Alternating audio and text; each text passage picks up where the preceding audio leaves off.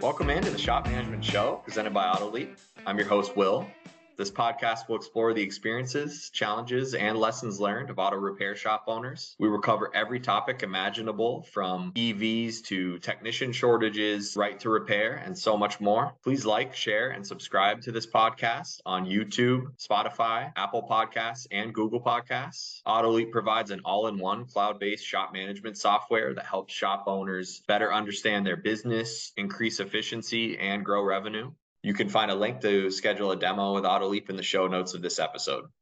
I'm thrilled to be joined by Steve Rodriguez, owner of Steve & Sons in Melbourne, Florida. We will dive into Steve's experience owning a shop and what it takes to run a thriving auto repair business. Steve, how are you? I'm doing good, bud. How are you doing? I'm doing great. Thanks for joining me. I wanted to start our discussion today focused on your background, how you came into the auto repair business, and then the story of how Steve & Sons came to be. All right mine's not a normal way. I was uh, I, I was 26 years in, or 24 years in the military. Uh, when I retired, kind of got bored. It's kind of on the AutoLeap website. We went ahead and uh, me and a buddy of mine went to fix my sister's transmission. Uh, we didn't do a good job of it. I had zero mechanical experience, and according to him, he had a ton. So we messed it up. We brought it to a local auto, um, uh, transmission shop in Cocoa, Florida, who the gentleman there decided, you know, just let us know that he loves YouTube mechanics and Google mechanics because that's how he makes his money. And then he said we had no business touching stuff and messing with cars, but he'll take the money. Block. Long story short, I just told him, I'm like, look, I'm retired. I got nothing else to do. I would love to learn how to be a mechanic. I'm gonna come back tomorrow. You don't have to pay me or nothing. Two years later, he says, You're ready for your own shop. We kind of squished everything in there. So ever since then, I've uh, I'm now a five-year mechanic, two and a half year shop owner. Is my history. Wow, that that sounds like you were thrown into the fire right away. What was what was the feeling of learning all of that stuff on the fly and quickly making that transition? It was tough because what I was doing for two years beforehand is I was just R and R in transmission, so I thought I was a mechanic. Literally, I don't know nothing about the inside of a transmission still but I know how to change one. But when you open up a shop, this isn't a transmission shop. We've probably done maybe five transmissions since I've been open because I hate it. So we would, yes, definitely thrown right into the fire. Uh, bad, bad advice from from salesmen and, and and and and people trying to get you to get their their credit card machine, their software. You know, just had to learn the ropes the hard way. And where I came from, this gentleman, my old boss, who's like my mentor, doesn't buy tools. He uses like wood and crowbars to fix things. So I don't know how to do all that. So we had to literally, I was a YouTube freak for all forever. ProDemand, Mitchell, AutoLeap, anything I could get my hands on to get the knowledge, just because I don't believe in fake it till you make it. But I just never wanted my customers to know how little experience I had. None of them believed me. It's really interesting. Has that learner's mindset applied to your team at your shop? Was everyone eager to learn new skills? It sounds like that's been part of the shop culture. Yes, I have one mechanic now, um, and myself. I started out with my daughter, who was like, I guess, the scheduler and service advisor all in one, and about five or six customers. I've only had one mechanic the whole time, and then I have a 15 year old son that works here when he's not in school. So we all learn. We're all young mechanics. I think the one I hired was actually had more mechanical experience than I did because he went to uh, automotive school, but just didn't didn't have a job anywhere. So we're always always learning from each other. So do you think it's possible based on your experience it's very possible to get into the auto repair industry and just learn on the fly have hands-on experience you don't necessarily need to go to an official school or would you recommend taking that more traditional path if someone's interested in getting into auto repair? I can't knock it either way, but the more that my technician, when he first said he wanted to go back to school, one example I gave him was, "Where did you drop off in school?"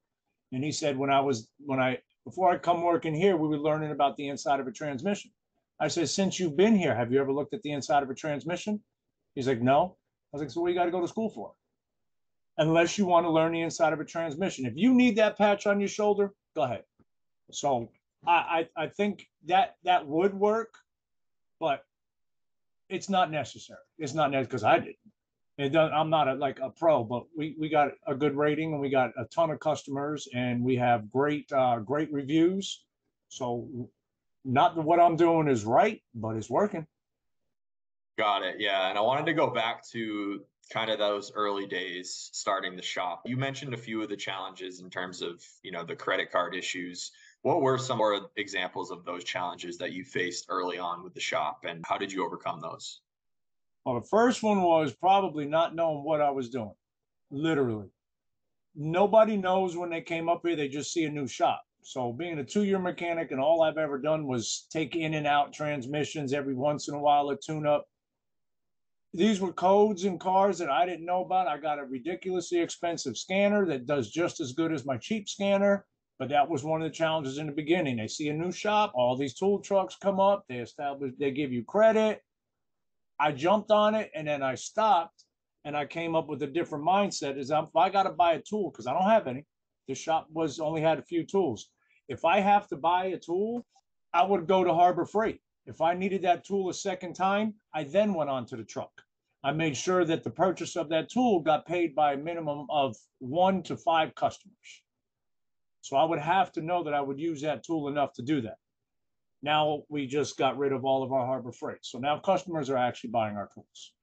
So that that was one thing. And then not knowing what I was doing was another.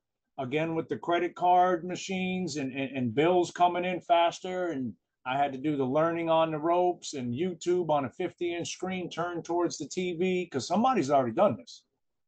Yeah, it's very interesting in terms of some of the challenges you just discussed. Do you have other examples of day-to-day issues that that come up that you've had to kind of learn on the fly and then grow as a shop owner and you know not have those things occur again? I think not taking on this is from a shop owner's perspective, not taking on the customer's personal problems to price your job is was my hardest thing to come over because I can afford because of my financial situation at home with the retired in the military.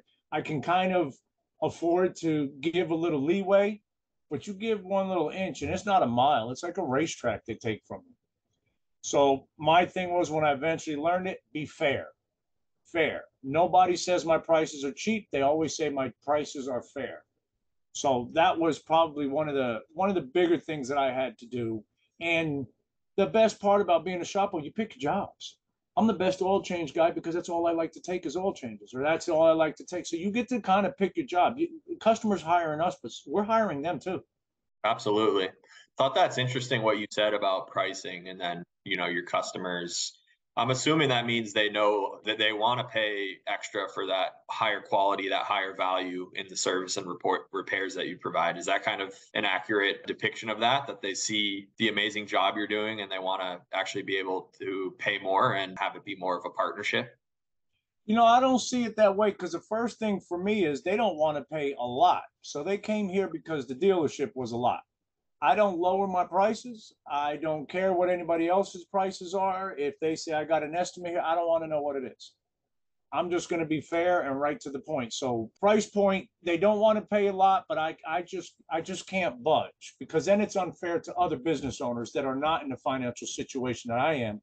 And then you become a bottom feeding snake my first person that came in here was honestly Mitchell one and told me that you don't have a bathroom, so your your your your labor rate should be close to about eighty five dollars an hour. Well, I listened to her. That was ridiculous. That's less than what people that go to driveways and fix people's cars work. And I just I was listening to sometimes the wrong people because you're a Mitchell rep. You're you're important. You know how this goes. Boy, let me replay that again. I'd kick her right back out the office and say I don't want that program getting back to some of the lessons that you've learned over the years as a shop owner, how have you incorporated those different lessons into new operations, new best practices within the shop? And do you have specific examples of that? Say like a mistake or say something that that came up that you overcame and how you applied that to the future to continue evolving your shop? I, I think the biggest thing is uh, transparency amongst everybody in the shop biggest thing I say when you come up because I've only hired two people and one of them lives with me. It's my son, so that don't really count. the biggest thing is just be honest inside here. If you break something, lose something, you misdiagnose something, there is not a thing we can't fix. We're called a shop for a reason. And there's not a thing that you broke that hasn't been broken before. And chances are it's on YouTube. If we really had to dig and you don't, we can't get into those words. So transparency here is everything. If you learn something new, tell me if you figured out a different way to do something. I'm going to stop you and show you something I just learned on the scope. Not only that, but inside the office here with those two gentlemen that I have, which is my son and the guy, the the uh, my mechanic, who both of them ran this shop for a week while I was on a cruise. Transparency inside here. I let them see the numbers. I let them know what those numbers are. The reason why I need to let them know what those numbers are because they know where they are, which cog they are in the wheel of this vehicle moving forward. They have to know their importance. And yes, you just did an oil change, but that oil change sold us something else. And this is the big picture. If you don't let your tech see the big picture, then they're a paycheck to paycheck guy. I want you to want to run a shop someday. So I want you to have the insights here. Both of those guys, they see my bank account until I start getting a bigger bank account. I need you to know why I eat last and you eat first. And at the same time, nobody knows our struggles in here because if you look at our ratings and our reviews, they think we've been doing this for 20, 30 years. So that's a big theme is internal communication among your team. How do you guys work that into like a day-to-day cadence? Do you have regular meetings, regular check-ins? How is that a part of the culture at the shop? We haven't gotten that official yet because we are a two-man shop. We try to get out between eight to 10 cars a week. Now, mind you, two-man shop, that I set up the estimates. He does all the work. So my mechanic fixes 10 cars a week. They'll range from an engine swap to something as small as an oil change. We normally just don't do oil changes, but with that aspect and with some of the AutoLeap infra, uh, AutoLeap stuff, uh, when it comes to scheduling and stuff like that, we we're not too strict on. I just give them time frames. I talk to the customer. I, I, I tend to be charismatic, I guess, with the customers. And, and, and can kind of talk them into keeping a car here a little bit longer, something like that. It's in their best interest. We're doing another couple steps or something like that. But the transparency does it all and giving a time limit we're not a dealership where you just married to that car. You can take the blades off of one car waiting for the blades while you're charging the battery on another car while you're pulling something on another car. One technician's got to do all that. So the owner has got to make sure that technician is fed. They I buy them lunch. Got to make sure they have water. Got to make sure they have all the tools that are available because at the end of the day, both of us are working as a team to get that car out in better shape than it came in for a fair price. And if it takes us longer, that's not the customer's fault. So we got to eat it. So neither one of us want to do more work than we're not getting paid for. That makes a lot of sense. I think that's a really thoughtful system you guys have in place. Do you have examples of ways that other shops would be kind of best practices to avoid in terms of not being transparent? What would a shop that doesn't have proper communication look like? What are some of the issues that would cause? Being in the military, we kind of learn that where you have team leadership and all that. You kind of learn that at the end of your career is a little bit higher in rank where you're kind of in charge of teams and creating teams and stuff like that. So I just brought that here and I would want to know every. I just make sure if I was a tech, what what I would want to know, what I need to know, and for, I just don't want somebody to come in here and just be clock watching, or worried about how long the job is going to be, worried about how much money they're going to have. Definitely worried about it. That's got to be in your mind, but that can't be number one. Number one has got to be here. The customer is first, not right. The customer is first, and their job is first. It's before our lunch. It's before we go home it's before we come in in the morning. Customers first. They don't need to know what's going on back here. They just need to know that we bought their car in, we sent it out, and we're fair. No, that makes a ton of sense. You definitely answered the question. That kind of brings me to my next point of your approach to customer service. Seems like that's a really important thing to you like how do you think about that as a shop owner how do you lay that out and how do you continue to refine that so you're giving the best service possible to your customers one thing that i do and i think other shops that don't do it is crazy is once the customer calls me right then and there it is my job to get that car here not in two weeks not because we're busy not next week not in three days because when i say that i'm busy you're going to go to somebody else that person just hired you as a customer. I want every single customer to come here. At that point, you get some shop owners like, well, how much money can I get out of this customer on this job? My question, kind of off the record, is how long can I keep getting money from this customer because I offer fair prices? And I do good work. Um, we talk. I, I, I know about your kid that just got out of the out of the Navy um, Navy uh, boot camp. You know, I'm personable because I because I'm a, I'm a nice guy too. I'm not that stressed here because of my other financial situation that I have to sell a job. I'll be the first one to tell somebody, man, I'm not taking that money because the value of the job is more than the value of the car. They respect that. So I want every single customer. I don't make anybody wait. Now, once they're here, I put my effort and, and, and talking them into it, I may keep the car here for a month. They're fine with that. But if I told them that I can't see you for a month, I'll never see them again. I need the ability to hire or fire you. I don't want you to have that ability. You can have the ability to hire me, but if I don't take the chance and say, come on in, right now, I mean, if somebody called, like, yeah, I got plenty of time, even though I'm in a podcast, I'm not letting that customer go somewhere else unless I want him. Absolutely. So it sounds like being genuine, number one, and then number two, making them feel like an immediate priority and actually having them be a priority. Would that be an accurate depiction of that? Honesty, integrity, don't lie, cheat, or steal is the things I live by. The biggest reason why I don't lie is because I can't remember a lie. It's a lot easier to tell the truth.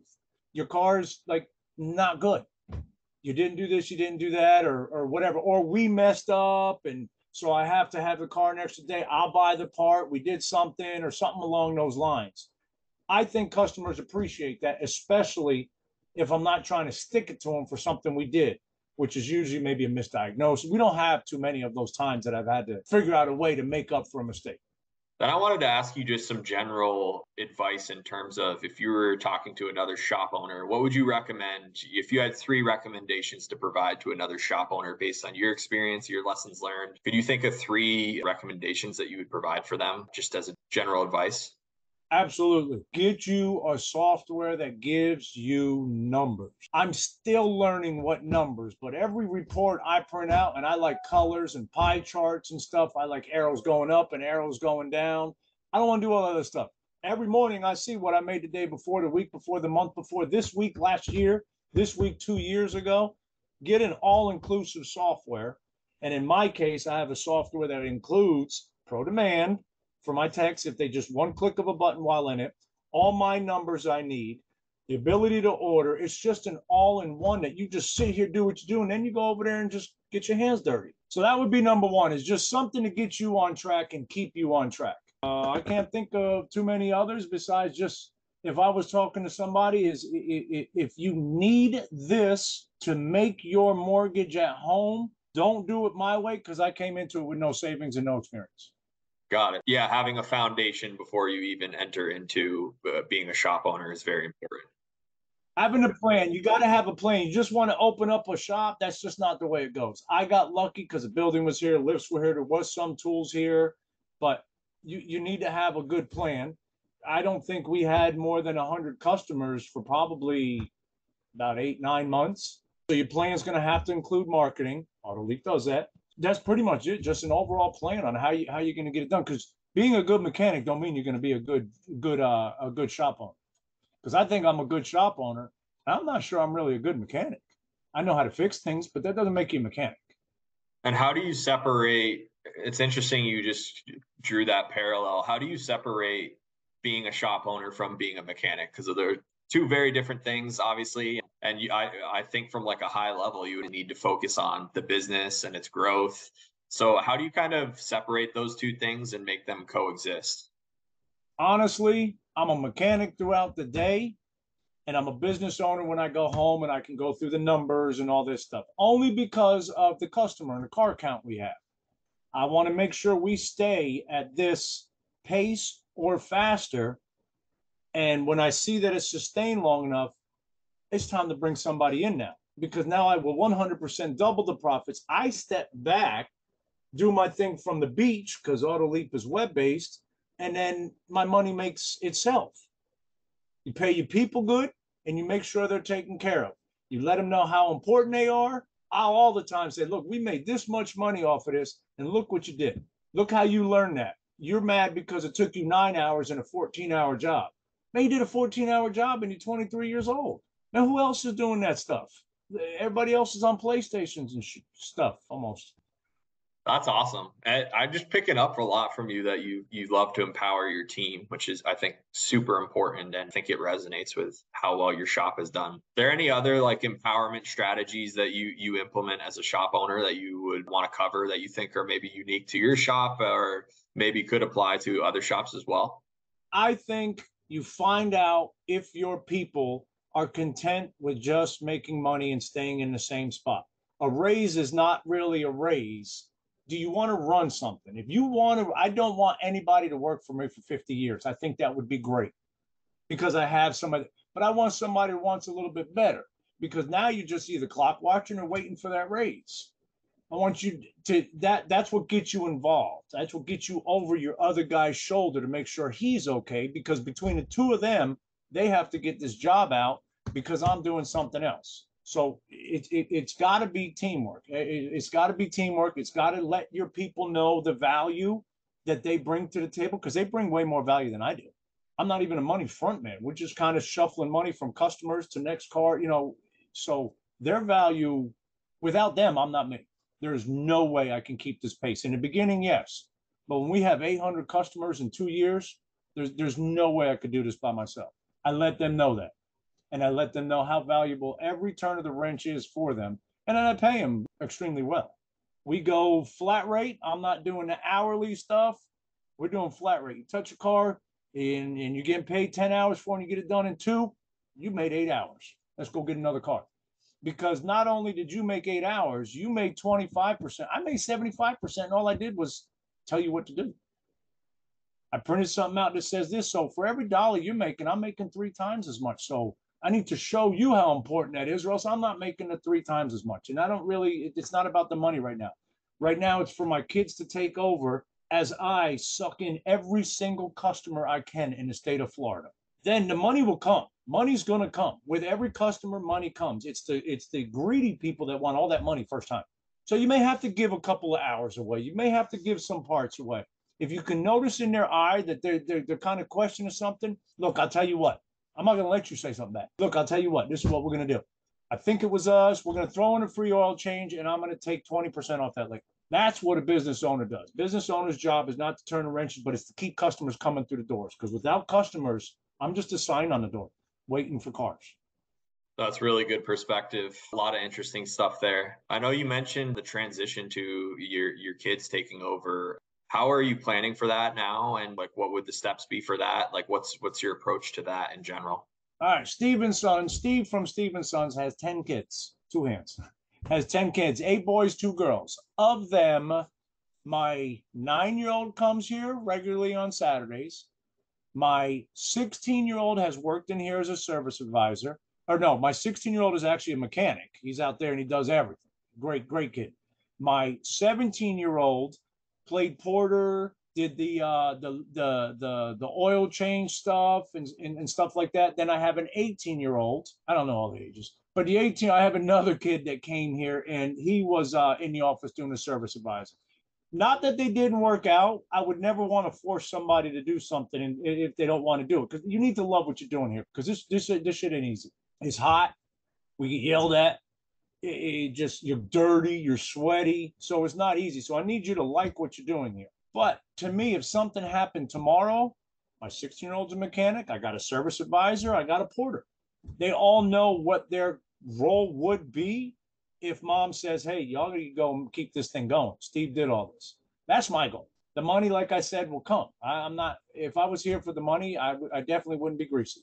I'd be charging a lot more. So at any time my kids could come right back in because they worked here long enough in certain positions that three of my kids can run the shop.